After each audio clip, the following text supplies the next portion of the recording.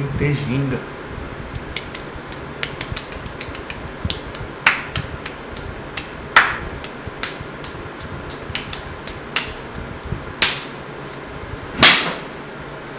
Quem sabe sabe, Carnaval 2017. 8 26 da manhã,